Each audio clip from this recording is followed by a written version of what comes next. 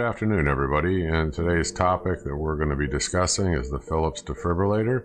And we're going to go over how you set up and do the external pacing, the defibrillation, and synchronized cardioversion. Okay, so what is transcutaneous pacing, or TCP? It's electrical pacing of the heart through the skin.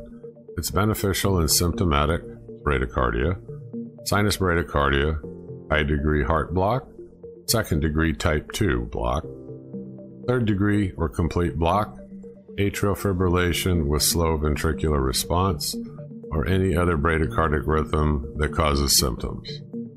Alright, so we know that we can set this up and we can actually do some pacing on somebody that has symptomatic bradycardia because the patient's symptoms are related to poor perfusion in the vital organs.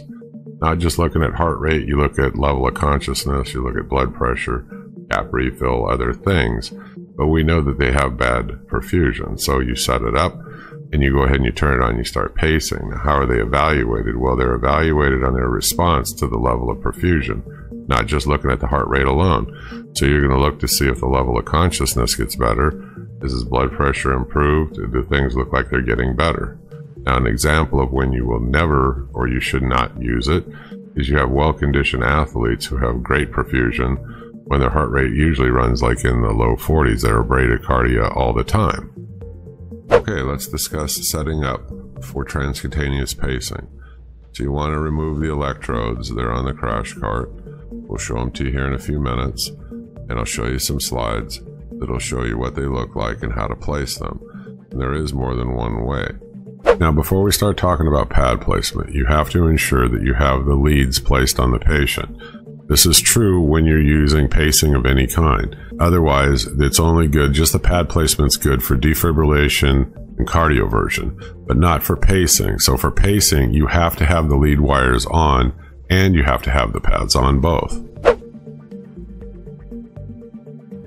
So when in regard to pad placement, you have the anterior chest where you can place in the apical area, that's the negative, and the posterior pad you can place in the mid upper back area, which is a positive.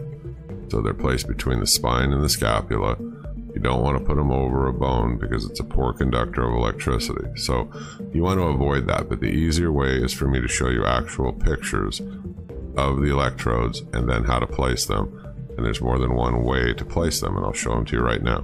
Okay, so let's take a look at what's on the crash cart. You're going to find a package which looks like the one over here on the left. These are used for transcutaneous pacing defibrillation, and synchronized cardioversion. And the picture on the right is showing you pad placement. We'll talk about that more in a second. But I also want you to know also on the crash cart are these. These are defibrillator pads. Now these take the place of using gel like we used to use a while back when you put them on the paddles and then you went ahead and defibrillated or shocked the patient. So instead of that, we put these pads on now and then the paddles go on top of these and you'll see they're showing you the chest placement in these also, but this is what the difference is between the two. When you're looking at this and you have the pads placed correctly, you're going to see when it's charged how the current flows through the skin across the heart to the other pad. And biphasic, it'll travel from one pad to the other and it goes like in a loop and comes back. Just like you see on the picture on the left, it travels like in a circuit then hopefully it's shocking the heart and bringing it back into a nice sinus rhythm again. And that's how it shocks the heart. It does it in this circuit fashion.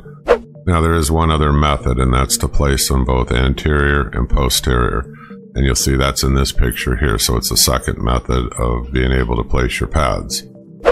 Okay, let's talk about the settings now. So what you want to do first is you want to set that rate to 80 Okay, so go ahead and turn the machine on and set it to pacer like in the picture. The next thing you want to do is you want to set the pacer rate. So you're going to hit the button that says pacer rate. You're going to use the up and down arrows or those little triangles next to the check mark and you're going to set that pacer rate. In this case it's 80. Then you're going to hit the check mark and that locks it in. Then you're going to come back and you're going to do number two, the pacer output, which is the milliamps.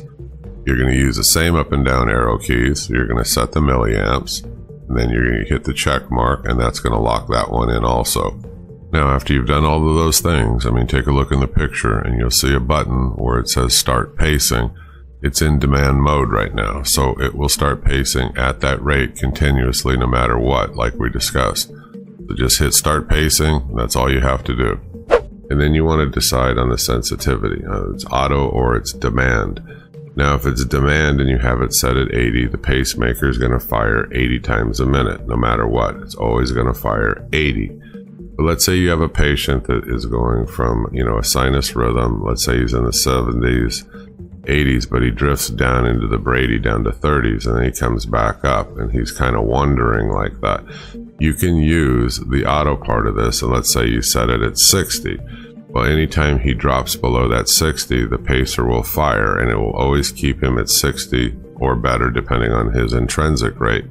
So, uh, most of the time, you're going to put this on demand.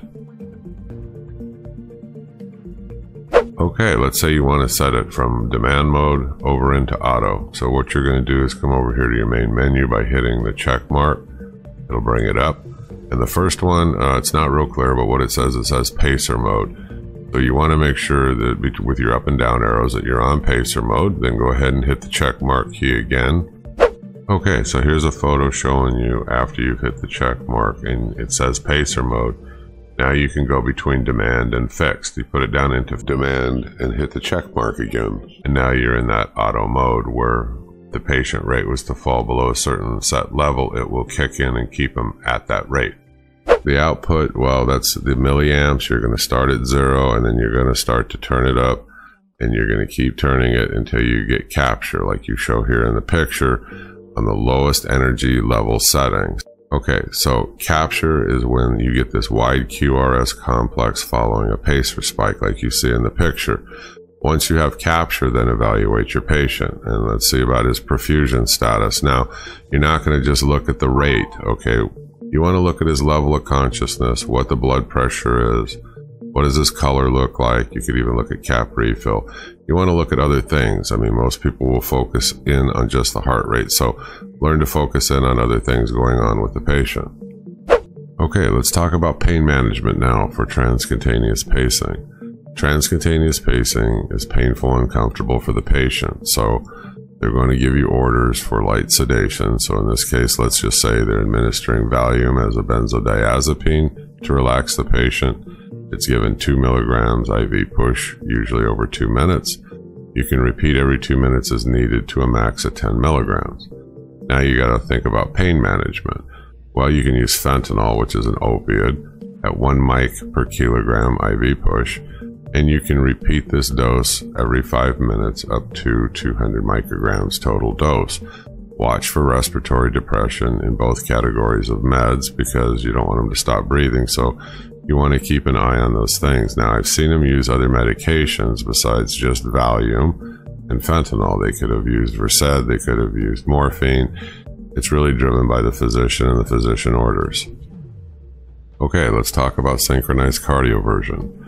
It's a controlled form of defibrillation with delivery of lower energy settings. It's used when a patient still has an organized rhythm and a pulse. The electrical discharge is delivered during the R wave of the QRS complex. Okay, so now let's talk about synchronized cardioversion indicators. It's for unstable supraventricular tachycardia, unstable rapid A flutter or AFib, narrow complex tachycardia. It could be unstable ventricular tachycardia or wide complex tachycardia.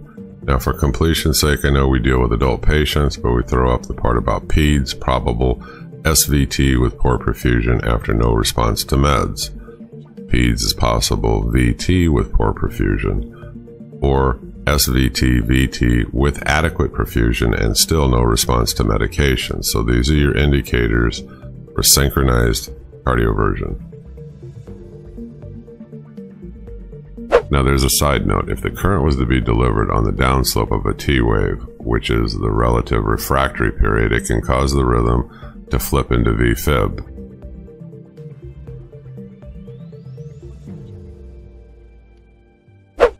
Okay, so let's talk about stable versus unstable tachycardia.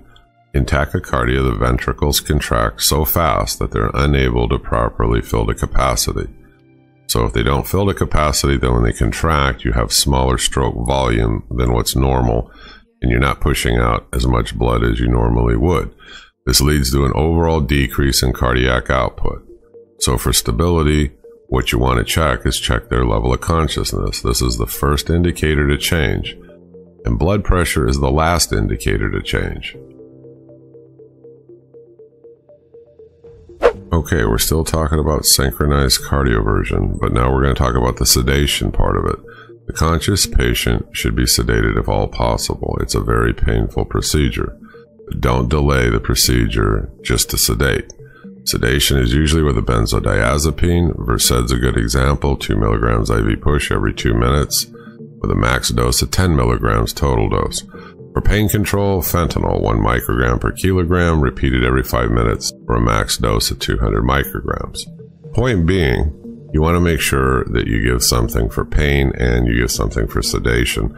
We talked about this earlier in the example where they used, you know, Valium, but like I said, it's up to the physician and they could choose to use Versed, which is usually the case in synchronized cardioversions. Okay, let's talk about the setup for synchronized cardioversion. You're going to activate the synchronizer mode button. Okay, we're going to assume that we have a patient and they're tachycardic at 168 and we need to do this cardioversion. So you're going to turn the machine on, we're going to set it up to 50 joules, and then you're going to turn around and you're going to press the sync button what you should get are these little white dots coming across the screen to show that it's syncing on the R wave. And then you should have a little green box that shows sync right down by his finger. If you don't have these white dots and you don't have that green symbol showing sync, don't try to charge and discharge the shock because you could end up flipping them into VFib or some other bad arrhythmia. So you want the white dots there, you want the box that shows sync. If you don't, check your plugs, check all your connections, and then hit that sync button again. The machine will then try to resync onto those R waves. When you have this the correct way, then you can go ahead and you can hit the charge button. You tell everybody to clear and make sure there's no oxygen source around if possible. Then you can go ahead and hit the shock button. There's going to be a momentary delay and then it'll discharge. After that, assess the monitor and assess your patient. Let me show you a picture of what I mean by the flagging and when it discharges. Okay, now here's a picture showing you the flagging on those R waves, and then you'll see where the machine discharged, and boom, it bounces them back into this sinus rhythm over here on the far right. Okay, let's talk about precautions with cardioversion. Well, one of the precautions is if you have a patient that's in atrial fibrillation more than 48 hours and they're not on any anticoagulants, they have an increased risk of blood clot formation in that quivering atria. So it's sitting there quivering and we come along and we shock it by doing a cardioversion. It can cause the atria to contract and then could break off a clot and increase the risk for a stroke or cause a stroke.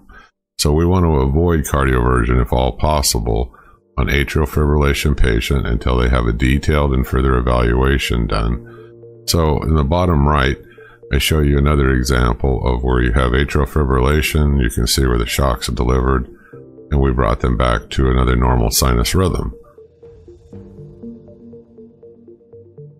Okay, let's talk about defibrillation now. And what is it? Well, it's a non synchronized delivery of energy during any part of the cardiac cycle. So, what we're hoping to achieve by delivering this large electrical shock is that the cells of the heart depolarize, and that it will allow them to repolarize uniformly or correctly, and we hope to bring them out of the arrhythmia that they're in. Electrical therapy causes the heart to conduct simultaneously, so the electrical shock is making the whole heart contract. So the overall goal of the shock is to allow the SA node to reset itself, which is the dominant pacemaker of the heart, and to take back over electrical control of the heart and start beating correctly again. That's what we're hoping for. Okay, let's talk about setting up for defibrillation. You can perform CPR while setting up the machine and getting your pads placed on the patient. You can hold CPR for a brief moment while you analyze the rhythm. You can confirm whether they're in VFib or VTach. Charge a unit is recommended by the manufacturer. Now, generally, we're going to charge to 150 on the first go around. and you can continue CPR until the unit's charged. Hit the charge button. The machine will let you know when the charge is ready and then make sure everybody's clear, nobody's touching the patient or the bed. Then you can hit the shock button and then that's your defibrillation. And make sure there's no oxygen source or try to keep the oxygen away from the patient. So now let's go through it one more time by showing you pictures and slides. Okay, here's an actual monitor, and you're going to take that dial and you're going to dial it up to 150. That's going to be the usual starting point for defibrillation. And you're going to hit the charge button. Now, this is assuming you have the pads on the patient, everything's hooked up. People who are doing CPR, you're going to tell them to hold CPR, stand clear of the patient. When the unit's charged, it's going to beep, and you're going to hit that shock button, and that will deliver the shock to the patient. Then you can assess them quickly and decide whether or not you need to resume CPR or what your next step is going to be.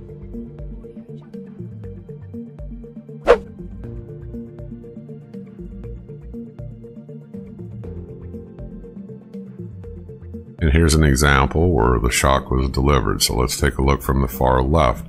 He has a sinus beat. He goes into a VTach. He's shocked. He goes into a coarse VFib, fine VFib, back to coarse VFib, back to a coarse VFib uh, still towards the right, and then an electrical shock again, and then he comes back into a sinus rhythm. Okay, I want to thank everybody. This is going to conclude our discussion on transcutaneous pacing, defibrillation, and synchronized cardioversion. Thank you very much for watching. Have a good day. Bye bye.